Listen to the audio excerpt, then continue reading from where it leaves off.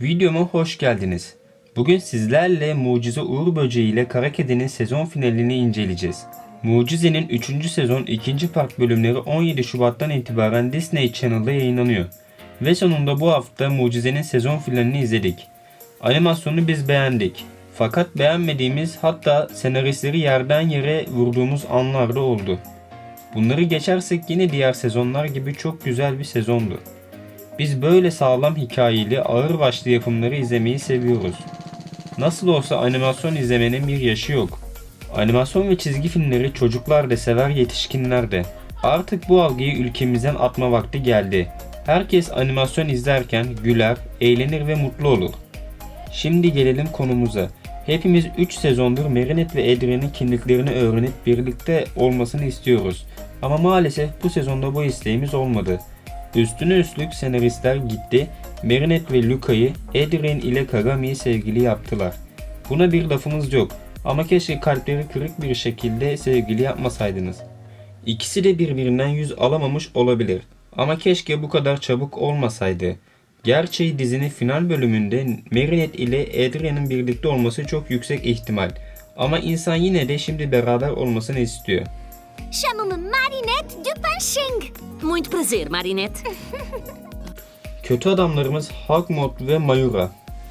Yine kötü karakterlerimizin kimliklerini öğrenemedi bizimkiler. Gabriel'in asistanı olan Natalie'nin Mayura karakteri sayesinde tavuk kuşu mucizesinin bozuk olduğunu ve, ve Adrian'in annesinin bu mucize yüzünden kapsül içinde durduğunu anladık.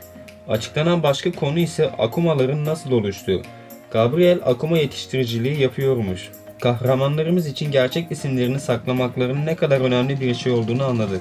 Uğur Böceği yüzünden Usta Fon'un kimliği ortaya çıktı ve artık Uğur Böceği Chloe'ye arı mucizesini vermekten vazgeçti. Hepsi Chloe'nin kimliğini halka açıklamasından dolayı.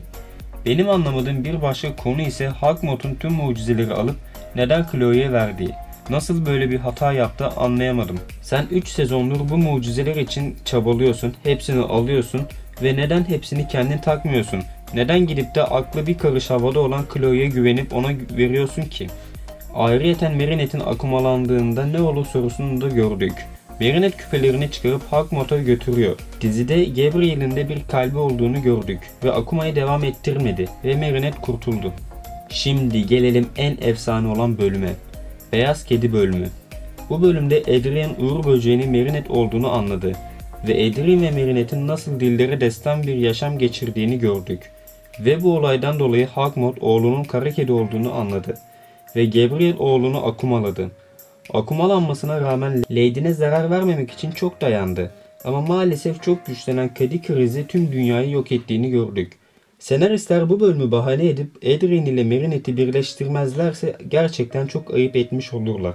Ayrıca dizide Mayura'nın güçlendirme gücü ile Hawkmoth'u nasıl güçlendirdiğini gördük. Hawkmoth kızıl Hawkmoth oluyor. Ve kıyafeti cidden güzel görünüyordu.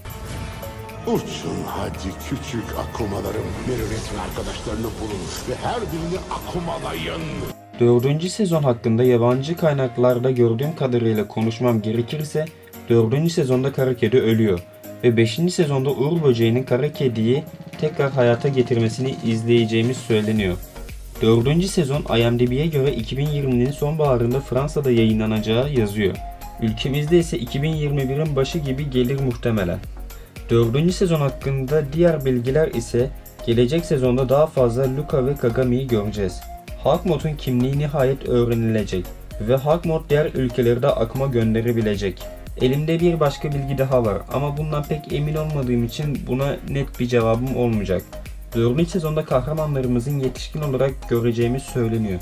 Tabi bu ne kadar doğru bilinemez o yüzden bekleyip göreceğiz. Şimdi yavaş yavaş videomuzun sonuna geldik artık.